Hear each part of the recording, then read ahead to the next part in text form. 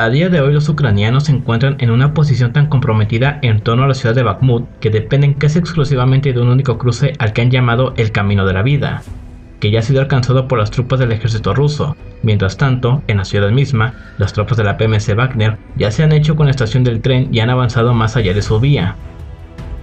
A día de hoy, la mayoría de vías que conducen hacia la ciudad están controladas por las tropas rusas, y si no, tienen control de fuego sobre ellas, Tal es el caso de la T-0504, que conecta con Konstantinivka, una ruta que desde hace mucho ya no es segura para transitar.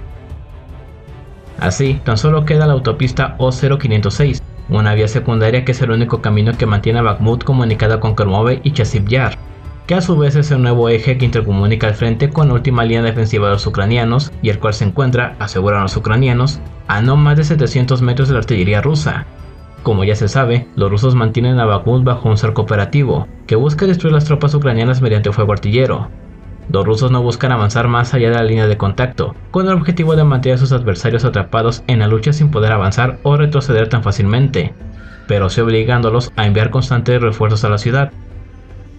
No olvidemos que la ciudad fortaleza es un enclave que se comunica con muchos sectores importantes, no solo del propio frente de batalla, sino del país en general, la famosa pinza que descierne sobre ella busca amenazar dichas rutas para complicar la llegada de refuerzos, equipos y municiones a la ciudad. Ahora la PMC Wagner se encuentra controlando hasta un 90% de la ciudad. Los ucranianos tienen un único camino por el cual pueden acceder como salir de Bakhmut, que han apodado como el camino de la vida, mientras que otros lo apodan como el camino de la muerte. Para los ucranianos, esta ruta se ha vuelto tan importante que ellos mismos han realizado tareas por tratar de mantenerla y alejar a las amenazas más próximas que tratan de llegar a la autopista lanzando pequeños contraataques. Esta ruta, al igual que muchos otros caminos secundarios, se encuentra bajo la constante mira de la artillería rusa, así como de unidades de avanzada que emboscan los pequeños convoys ucranianos que la transitan. Por esto, los rusos no tienen afán en cerrar la pinza, ya que tienen a tiro de pato a las fuerzas ucranianas, los rusos han hecho lo propio para obligar a los ucranianos a mantener la ciudad y poder vigilarla. Se sabe que suele haber drones rondando la zona en busca de importantes concentraciones de unidades para que la artillería pueda diezmarlas independientemente de si van en dirección o fuera de Bakhmut.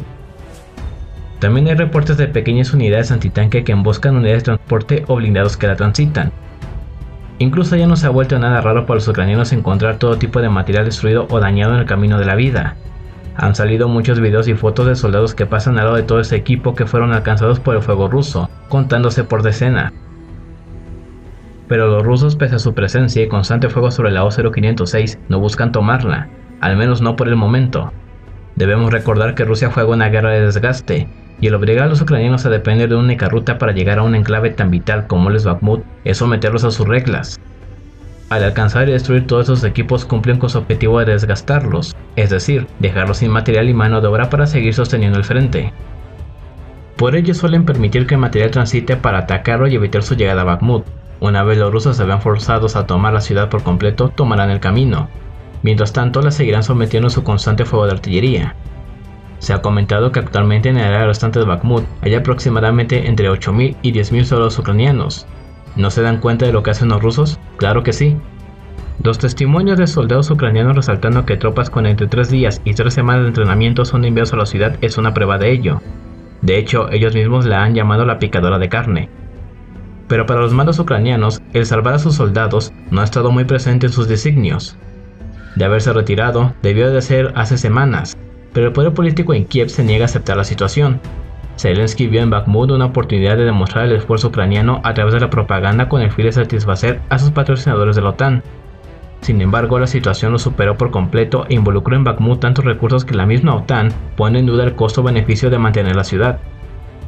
El diario estadounidense El Político ha resaltado que la Alianza Atlántica no ofreció recursos para desperdiciarlos en Bakhmut, resaltando que, con ello, Ucrania se puede ver limitada para una contraofensiva o bien ofensiva que cambie el panorama estratégico de la guerra.